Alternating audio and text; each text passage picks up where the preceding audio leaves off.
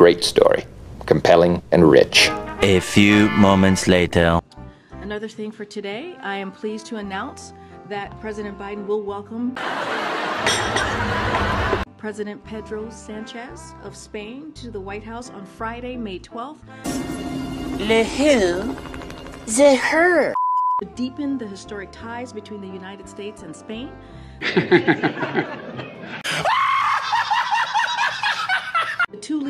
will review our efforts as NATO allies and close partners. You said mop.